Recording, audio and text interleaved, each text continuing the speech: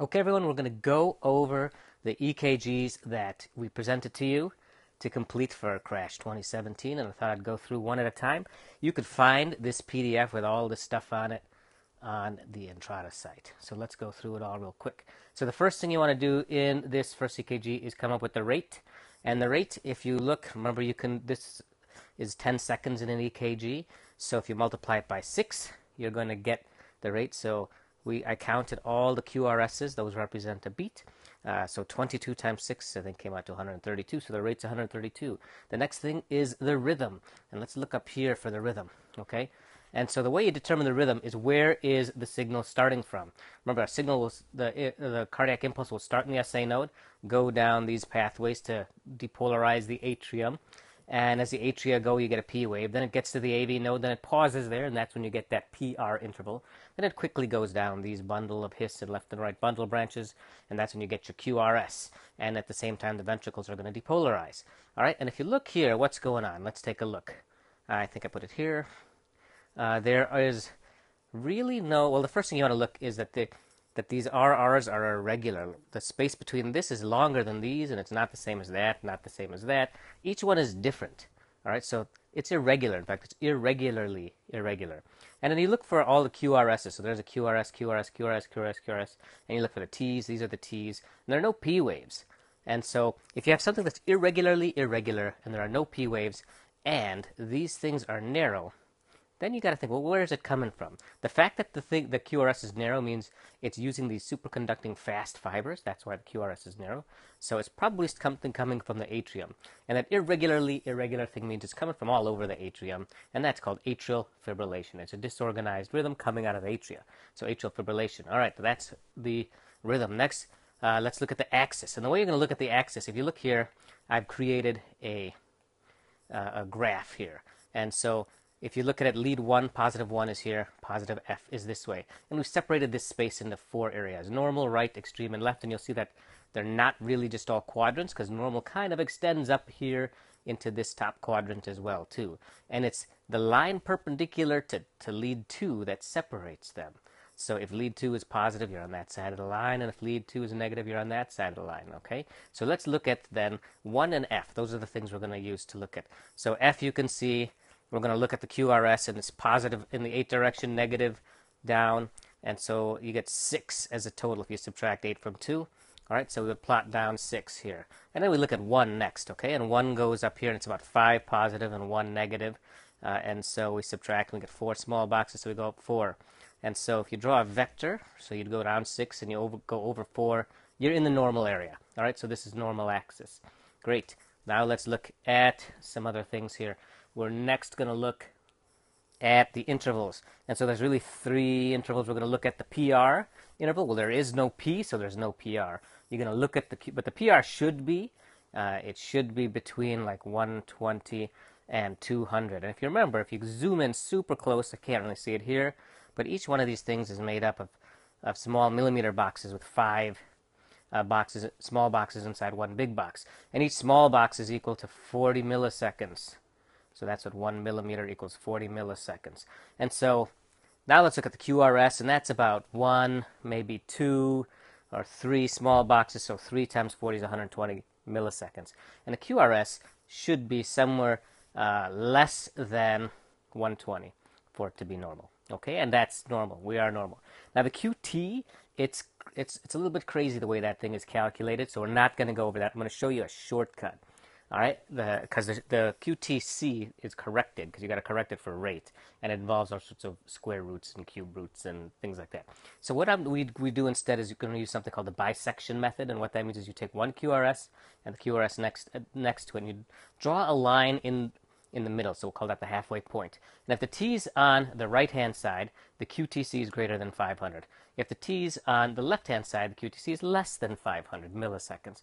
And when it's more than 500 milliseconds, that's when you may have a problem. And so you can see here, this QT looks kind of long, and that looks kind of long too. I mean, here, it's so far over, it almost looks like a P wave for this thing. So the QTC greater than 500 milliseconds. The next thing we're going to look at, so that was intervals. Uh, we're going to look next at hypertrophy, and there's a formula. I forgot what the name of it is, but it'll be in your handout. You take the S in V1, and you add that to the R in V6. And if it's greater than 35, then you have left ventricular hypertrophy. And it isn't here. It's 10 plus 9, so it's 19. So there is no left ventricular hypertrophy. You can also look at atrial hypertrophy, but we're not going to look at that here. Okay, the next thing we're going to look at too is ST segments and T waves. But we're not going to look at that in this EKG. I'm just going to tell you they're pretty much normal here. Uh, and so we'll go over that in the next one. So what is our diagnosis here? Our diagnosis in this EKG is atrial fibrillation with a rapid rate. Remember, it was tachycardic. All right, and you've got to figure out what you want to do about that. Let's go to the next EKG. Okay, so this one, uh, let's do it again. So the rate, if you do that same method, well, actually we'll do a different method. You can find one that lines up on one of these lines, and then you can count how many big boxes till the next one. And with each one, you're going to divide uh, 300 by one box, by two box, by three boxes. So it goes 300, 150, 100, 75, 60, and I don't remember what comes next, 50, 42, something like that. So this one goes 300, 150, 100. So it's somewhere in between 150 and 100. It looks like it's closer to 150. So I'm going to say that it's perhaps 140. So the rate is 140. Let's look at the rhythm now. Again, remember, we want to know where in this system is the signal coming from. You're going to see a P if it comes from the SA node and comes down like this because it's going to then depolarize the atria. Do we see P waves? Let's see. Here we get this weird sawtooth pattern.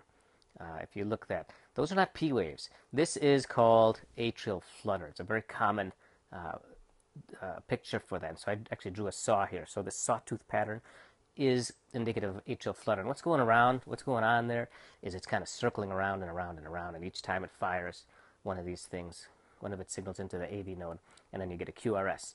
And sometimes the QRS, remember, does a little delay in here. So sometimes it fires one in there and it's being delayed, and as it's being delayed, another one gets fired in there. But not, both of them are not going to transmit through. Only one is. So that's why you might get like a two to one pattern here, like we get. We got one, two. You know, so look at one, two, QRS, one, two, QRS. So that's a two to one pattern there, two to one ratio that we got there. Okay, so that was our rhythm. Let's do our axis again. F is negative, 1 is positive. So let's look at what happens when that we do that, right? Here is our thing here again. If F is positive, F is negative and 1 is positive, we're in this area. Now we're in this crazy quadrant. So we got to look at 2. What side of 2 are we on? Are we on the positive side of this line, positive 2, or the negative side? So then we go to 2. And 2, well, you know what? It's equally positive and negative. So what does that mean? Probably falls exactly on this line here. So I don't know what you call it. You could call it normal, or you could call it left. I'm going to call it left. I'm, I'm going to call it normal. All right. Let's now look. We did rate, rhythm, axis. Let's look at the intervals. Again, there are no P waves, so there's going to be no PR. Uh, the QRS we can look at, and that came out to about uh, one and a half small boxes, so about 60 milliseconds. That's pretty tight. It's probably uh, just because my eyes can't see it. It's probably a little bit more than that. Uh, and then the QRS, uh, the QTC again, where we do our bisection method, and our T wave happens to fall on the proper side, so the QTC is less than 500. All right. Ventricular hypertrophy, we do it the same way again. The S in Q in V1, the S in V1 is 12, and then the R in uh, V6 is 18. So 12 plus 18 is less than 35. So no ventricular hypertrophy. We're not talking about atrial hypertrophy in this one. All right, we'll you can learn that thing later. And again, I'm not going to talk about the ST waves and the and the T wave, the ST segments and the T waves in this one. So what is the diagnosis here? It is atrial flutter with a two to way, two to one conduction. Let's go to the next EKG. Okay. All right, here we are. This is the next one. So obviously we can see this one's fast, and if we do our, our little thing, 300 to 150, it's probably uh, you know it's somewhere between uh, one, you know, 300 and 150. So let's say maybe 160. I don't know. That's what I'm guessing there. All right. Okay. You can also do the counting method and see what that comes up, but that's a lot of things to count, and I don't want to do that. Next, rate rhythm. What's the rhythm? Again, we look closely here. What do we see? This is the T wave. I don't see a P wave. And then the QRS. T wave, no P wave, QRS. T wave, no P wave. There's, there's no P waves. It's regular and it's tachycardic. So it's not that atrial fib, right? We don't see those flutter waves. So it's not uh, atrial flutter. So what's going on here? Well, this is something called SVT, supraventricular tachycardia, and that's when you get this circuit going on here, and it goes, you know, usually one limb of it goes through the AV node, and so then it'll fire, every, you know, pretty quickly uh, through here, and then again, because you have a narrow QRS, you know that we're using the these bundles here, and so that's why the QRS is normal. We know that it's supraventricular because we have the narrow QRS, and so we got some sort of AV node thing here, and this is going to be called SVT. Rate, rhythm, axis, intervals. There's no P, there's no PRS. Okay, QRS, uh, there's no P, there's no PR. QRS, it's, again, if you measure it, it's probably three small boxes, so it's less than 120. It's normal. And the QTC, I did that here, right? We drew the line here, drew the line here, and drew this line down the middle. The T is on the left side, it's on the good side, so our QTC is less than 500. This is an estimate, okay? This is not a necessarily uh, going to get you an accurate number, but it's a quick and dirty way to do it. Usually I'm going to just look at the EKG because the machine is going to calculate the QTC. Rate, rhythm axis, intervals. All right, you know what? ST segments, I'm not going to do in this one. Uh, and so what is this? This is called supraventricular tachycardia. We talked about that here. Let's go to the next EKG. All right, this one. Let's look again. Rate. The rate, we're going to go down here, 300, 150. Oh, it's about 150, right? We're, we're good there. What's the rhythm? Okay, the rhythm is, well, we know that it's fast, okay? Again, there's no P wave, so it's not coming from the sinus node and depolarizing the atria. The QRS is actually wide, okay? Because if you measure it, it's wide. Uh, so what's going on? There's a T wave there. So we got a wide, no P, QRS, and a T. No P, QRS, and a T. We got a wide QRS. That means it's probably starting somewhere in the in the uh, ventricles because of the wide QRS. Because if we're not using this bundle branch, that's when we get a wide QRS. And so that's what's going on. So this is going to be something called ventricular tachycardia. Now let's look at the axis. Uh, okay, so you want to look at 1 and F, right? So 1 is positive. It's mostly negative if you take the sum, right? You, you go up 1 and you go down negative 3. So the sum is negative 2. And then for AVF, it's up plus 6. Okay, so we got negative 2 for 1. Uh, so we got right axis here, right? Because now we're in this quadrant. Negative 1 and positive F, we're in this right axis. The rate rhythm axis intervals, well, we did the inner, we, you know, we said there's no P, so we can't do that. The QRS is four boxes. And remember, each one of those boxes is 40 milliseconds. So 160 milliseconds, we wanted it to be less than 120. So this is considered wide. And the QTC, again, we do it this way with the bisecting method. And the T is on the good side. So our QTC, less than 500 milliseconds. All right, so this is going to be called ventricular tachycardia. It is starting here. All right, I'm going to skip the ST segments and the T waves for this one. Let's go to the next one. Okay, uh, this one, let's let's do it again. Let's do the rate first. So we got 300, 150, 100. Uh, you know? It's just a little bit faster than 100, so maybe it's 105. Let's say that. Okay, what's the rhythm? So let's look here. Oh, here we got a P, Q, R, S, T. P, Q, R, S, T. So I think we have a sinus rhythm in this one. So we know that it is starting here. So we get a P as it depolarizes the atrium. It pauses, we get the PR interval. Then the QRS is narrow, so that's how we know that it's going through these bundles. And then the T is what happens, obviously, as the uh, ventricles repolarize. So this is a sinus rhythm. Rate rhythm axis, what we, uh, axis is, uh, okay, let's look here. The uh, AVF has a sum of positive 1, and 1 has a sum of positive 12. So positive in both means we're in this quadrant it means it's a normal axis, right? Positive 12, positive 1, normal axis. T waves, ST segments, let's skip that. Oh, but let's do our, uh, our hypertrophy. All right, this one's hard to see because this Q in here, it goes way down to here.